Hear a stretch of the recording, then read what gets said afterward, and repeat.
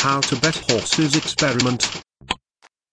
In horse racing the 80 to 20 rule applies in several ways. For instance, about 80% of the races are won by one of the top three favorites.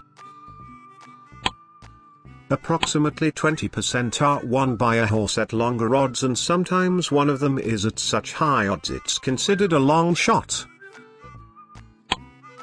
I always recommend that horse players allocate their funds to wager about 80% among the lower priced horses in order to maintain a consistent cash flow and 20% of their wagers on long shots in order to take advantage of those golden opportunities. Of course, how you manage your bankroll is a personal choice and that's just a suggestion. When looking for a good long shot bet you have to start by thinking outside the box, or contrary to how the crowd thinks. They look for trainer moves that have a high percentage. That's nice if you want low odds, but what about those long shot opportunities?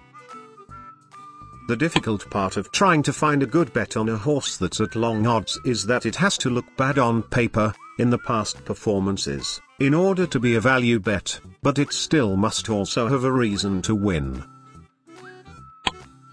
Selecting such horses is often a matter of compromise.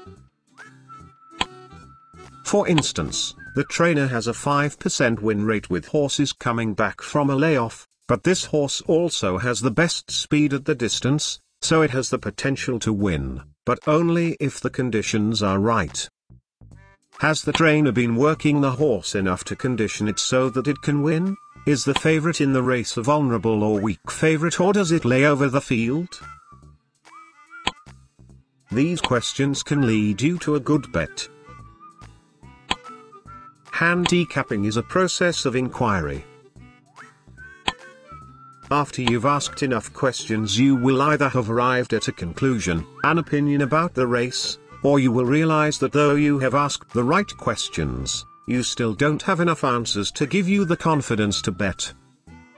If there is an angle, such as coming back from a layoff or changing distance, etc., that the trainer has a low percentage with remember this, Unless his or her percentage is 0% he or she has succeeded with the move in the past.